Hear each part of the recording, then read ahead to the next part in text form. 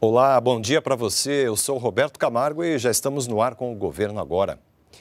Uma reunião ministerial está sendo realizada neste momento no Palácio do Planalto. Os ministros avaliam o avanço da doença no Brasil. O presidente Jair Bolsonaro não participa, pois existe a suspeita de que possa ter contraído o coronavírus durante viagem aos Estados Unidos. Várias medidas já foram tomadas para atender a população e reduzir impactos na economia, como a antecipação da primeira parcela do 13º salário para os aposentados. Quem traz os detalhes para a gente ao vivo é a repórter Luana Karen. Oi, Luana, bom dia. Olá, Roberto. Bom dia para você e a todos que nos acompanham aqui na TV Brasil.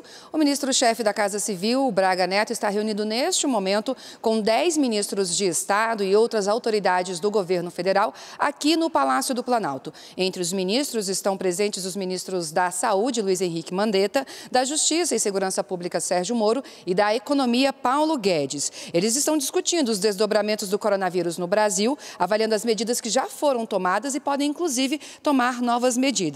Há uma expectativa grande quanto ao resultado da contraprova do exame feito no presidente Jair Bolsonaro. O secretário de Comunicação da Presidência da República, Fábio Van Garden, testou positivo para o novo coronavírus e está em isolamento.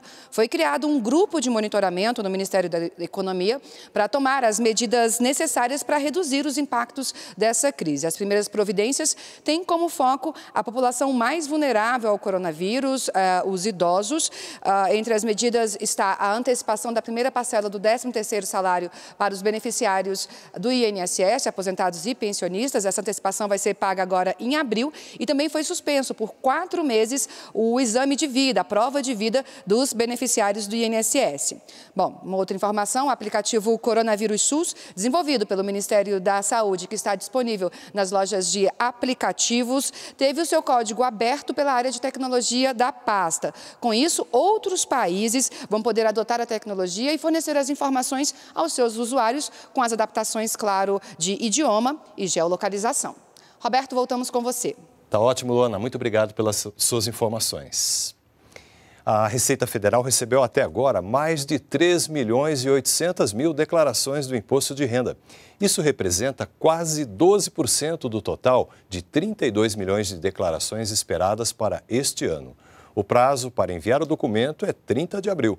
Todos os detalhes e o programa para preencher a declaração estão disponíveis no site da Receita Federal. A gente fica por aqui. Você pode também continuar bem informado pelas nossas redes sociais. Nos vemos na próxima edição. Até lá!